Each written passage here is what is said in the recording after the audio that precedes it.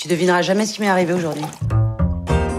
Il y a des productrices qui m'ont appelé. Elles veulent que j'écrive le scénario sur mes sœurs et mon père. C'est formidable. Je fais réaliser mon film. Mais c'est qui ta prod T'as vu comme elle est mignonne C'est le genre de femme euh, affreuse. Pareil qu'elle jette les gens dans les escaliers. Ça va être génial, on va faire une promo de malade Mais j'en suis qu'au début de l'écriture. Mais ça, on s'en fout. T'as une histoire et c'est la tienne en plus. Et les actrices, on les signe tout de suite, sinon elles seront plus libres. On se fait chier, chier. Très longtemps, chier. Pourquoi le père, il travaillerait pas dans un haras Les gens, ils adorent les chevaux en ce moment.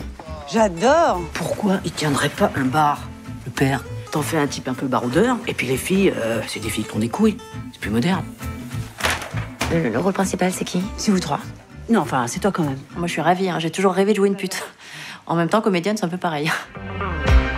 Oui, et puis ta version avec les trois radasses, là, excuse-moi, mais je sais pas qui a eu cette idée. Je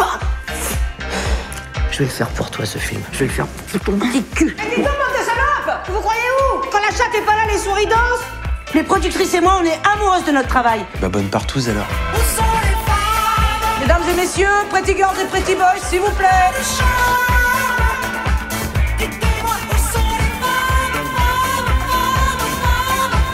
Je sais que je peux compter sur vous On est chez les fous.